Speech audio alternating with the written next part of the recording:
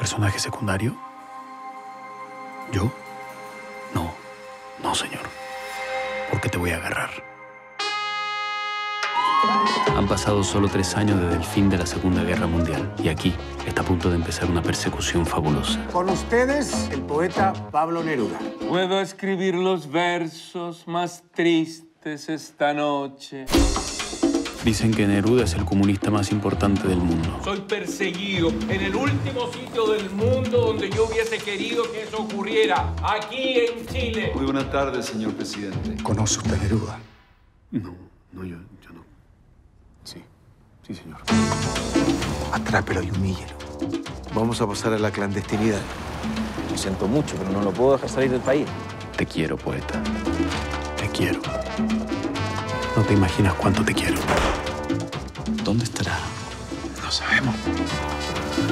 Me voy a convertir en su peor pesadilla. ¿Querés que te encuentren? Me gustaría sentirlos más cerca. Tiene que estar en alguna parte. Tienes razón. En esta ficción todos giramos alrededor del protagonista. Tiene un principal y un secundario.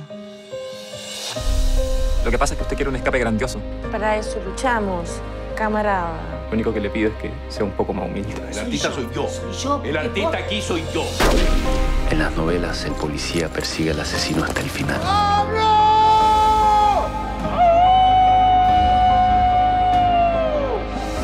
Quiero ser testigo de tu muerte. Y voy a ser personaje principal. Esto tiene que ser una cacería salvaje.